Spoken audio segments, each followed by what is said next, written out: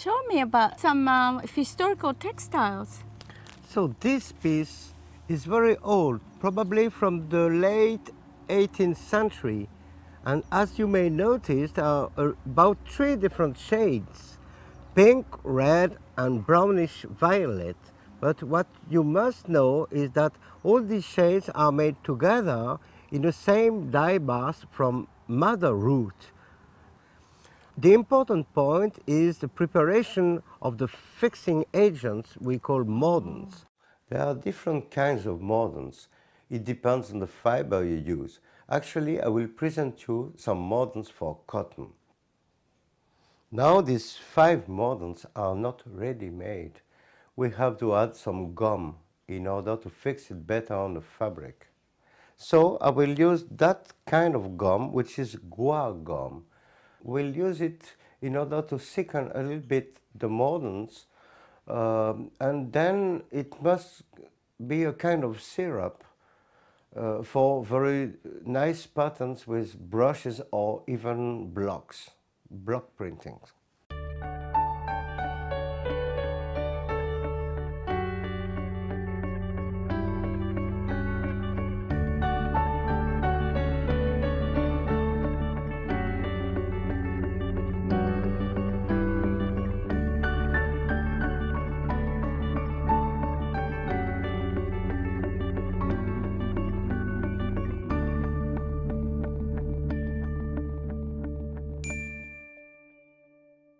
And tell us about indigo a little bit more. Well, indigo is a huge subject. It's very, very attractive. You don't need mordant. I will show you. First step maybe would be interesting to show you how to extract first the color from the leaf and then use a kind of blue extract in order to go on with dyeing process. Just put the leaves in a beaker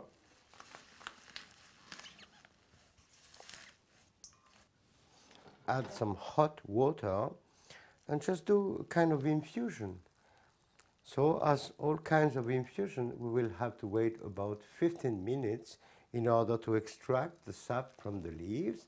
And then after 15 minutes, we'll just keep the juice for the subsequent treatment.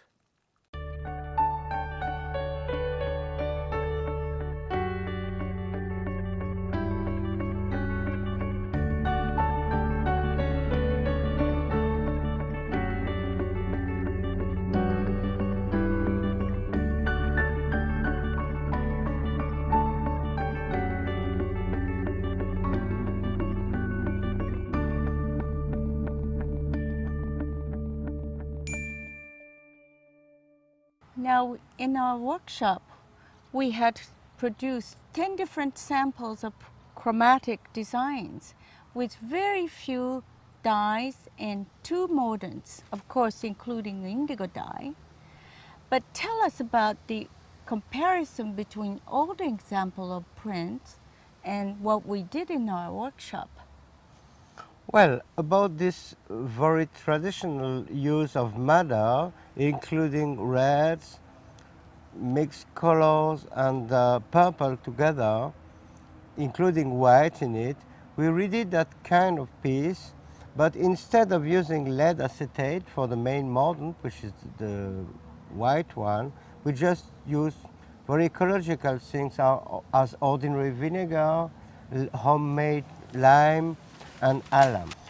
For this one, which was the very polluting way of doing this effect, we didn't use this chromium salt together with lead that they use for the yellow and green.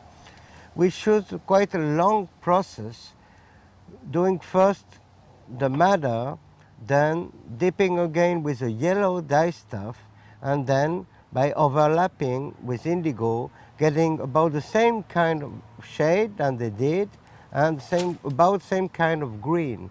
So this is not so polluting and remember we did use the mordant until the last drop. We never throw any mordant. Whenever they are not really toxic or polluting, we prefer to reuse it until the last drop, which is very different than the traditional one. That's remarkable, Michel. So we can work with what we have in our home even and using very few mordants and we can pursue beautiful range of colors, polychromatic effects and have great fun. Thank you so much. Enjoy. A. Goodbye.